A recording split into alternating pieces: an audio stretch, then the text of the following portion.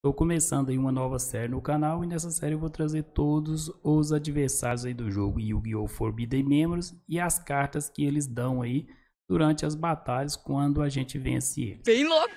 Estou aqui com o TIA aberto, né, na versão inglesa e original. Lembrando aí que o TIA tem a base de dados do jogo Yu-Gi-Oh! Forbidden Memories. A gente vai começar primeiro com o Simomura, que é o primeiro adversário aí do jogo. A gente vai analisar aí o baralho do Simomuro e o que é que a gente consegue dele quando a gente vence ele primeiramente aí no SA Pou.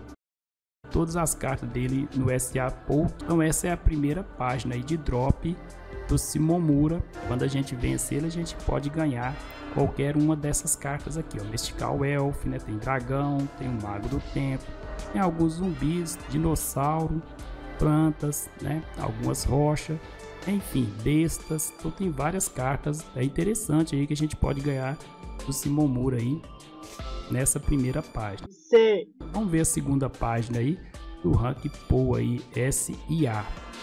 Essa é a segunda página de drop dele aí no rank Pool A e S. Quando a gente vence ele, pode cair qualquer uma dessas cartas está mostrando aqui. Algumas bestas, né, rocha, plantas. Temos aí a lâmpada mística, algumas cartas de água, máquina. Então é essas cartas aqui que a gente ganha dele.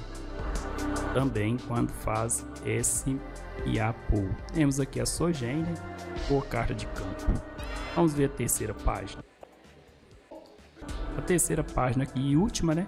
Talzinho que nós temos uma carta fêmea, nós temos aqui rocha, zumbi, planta e outras cartinhas aí que não são interessantes, beleza? Então vamos agora ver no Tech. Vamos ver o AS Tech. E cara, nós já vemos aqui na primeira página o Mago do Tempo, né? Vemos aqui também zumbi, algumas bestas, né? Temos aqui plantas, temos cartas fêmea também, uma fada na queimância, mais rocha, enfim. Tem aqui embaixo, né? A legendária Sword, né? Uma carta de equipamento. Então vamos aí para a segunda página. Legal!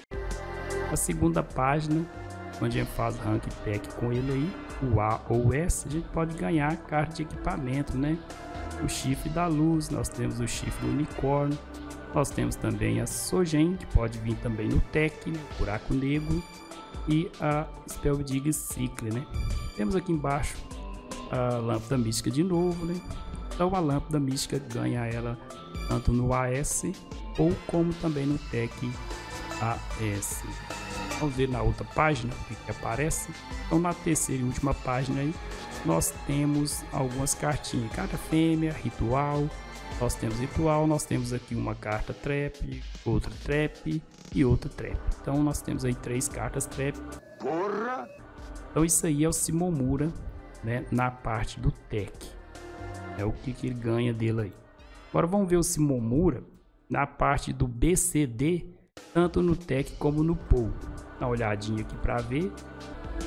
E aqui a primeira página né, de drop aí nos rankings B, C e D, ou e Tech, a gente já viu o Mago do Tempo, né?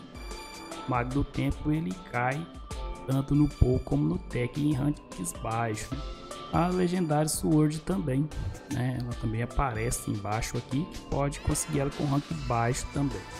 Vamos ver na segunda página. Aparece a Sogen novamente, a lâmpada mística também ela pode ser conseguida aí tanto no Pou como no Tekken. Mais cartas fêmeas. Vamos ver a terceira página. Na terceira página aparece também cartas ritual e cartas trap, carta armadilha aí que pode ser conseguida com ranks baixos, né? B, C e D. é mesmo? Então esse é o adversário Simomura e as cartas que podem ser dropadas nele quando a gente faz aí ranks, né? Pou e Tech ou ranks baixos, né? B, C e D, tanto Pou como Tech. Eu vou ficando por aqui. Se você ainda não for inscrito no canal, se quiser dar aquela força monstruosa pra gente, se inscreva. Eu já agradeço e até o próximo vídeo.